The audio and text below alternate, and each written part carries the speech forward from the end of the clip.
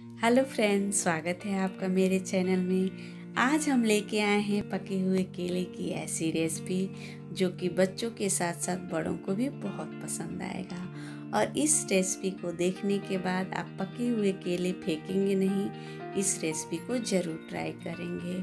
तो केले को मैंने छील लिया है और छीलने के बाद अब हम लेंगे मिक्सर जार और फिर उसमें केले को हम डाल देंगे। ऊपर से डालेंगे इसमें हम एक कटोरी दूध। तो दूध को गर्म करके मैंने ठंडा कर लिया था। अब हम डालेंगे आधी कटोरी चीनी और सात से आठ यहाँ पे मैं डाल रही हूँ काजू। तो ड्राई फ्रूट आप अपने पसंद के हिसाब से कोई सा भी ले सकते हैं। तो यहाँ पे मैंने आधी कटोरी सूजी लिया है। सूजी को भी हम इसमें डाल देंगे और इसको अच्छे से पीस लेंगे। ये देखिए, मैंने पीस लिया है। अब किसी बड़े से बाउल में हम इसको निकाल लेंगे। तो थोड़ा थोड़ा केला टुकड़ों में बच गया है, लेकिन जब इसको हम फेंटेंगे तो बहुत ही अच्छा बैटर बन के तैयार होगा। तो ये बनाना सेक नहीं है। आप सोच रहे होंगे कि ये बनाना सेक लग रहा है, लेकिन ये बनाना सेक नहीं है। तो यहाँ पे मैंने एक कटोरी मैदा लिया है। मैदे को हम थोड़ा थोड़ा डालते हुए इसमें मिलाएँगे। एकदम से नहीं डालेंगे थोड़ा थोड़ा करके डालते जाएँगे और इसको मिक्स करते जाएँगे। एक बहुत ही स्मूथ बैटर बना के हम तैयार करेंगे और यहाँ पे देखिए मैंने सारे मैदे डाल लिए हैं और इसको फेंट लिया है। तो जितना ही इसको फेंटेंगे, उतना ही अच्छा बैटर बन के तैयार होगा। तो फ्लेवर के लिए ये इसमें मैं डाल रही हूँ एक छोटा चम्मच इलायची पाउडर और इसको डालने के बाद अच्छे से फेंट लेंगे।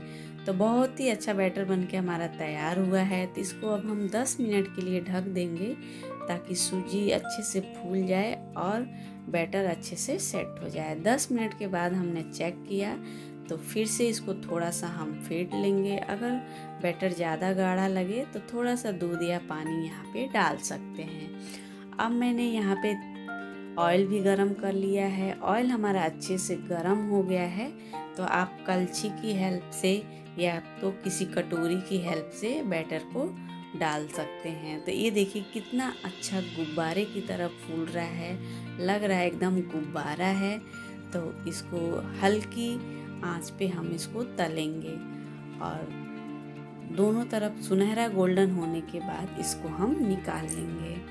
तो ऐसे ही करके हम सारे गुलगुले बना लेंगे। तो फ्रेंड्स यकीन मानिए, ये बच्चे, बड़े सबको पसंद आता है। आप इसको रख के दो तीन दिन तक आराम से खा सकते हैं। ये ख़राब नहीं होता है। तो देखिए, कितने अच्छे से ये फूल रहा है।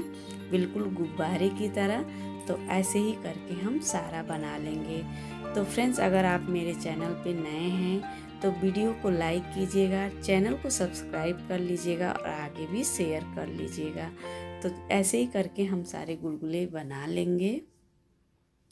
और मैं सारा बना के फिर आप लोगों को दिखा रही हूँ। तो ये देखिए कितने अच्छे से फूले हैं। तो इसी तरह से सारा हम बना लेंगे। तो यहाँ पे मैंने बना लिया है। और देखिए सारे फूले हैं। एक भी ऐसा नहीं है कि नहीं फूला है, सारा फूला है। और एक मैं आप लोगों को तोड़ के भी दिखा रही हूँ। तो ये तोड़ के मैं दिखा रही हूँ। तो ये देखिए, अंदर से कितना अच्छा जाली की तरह बना है। और बहुत ही टेस्टी लगता है ये खाने में। तो आई होप आपको मेरी ये रेसिपी पसंद आई हो। Thanks for watching bye bye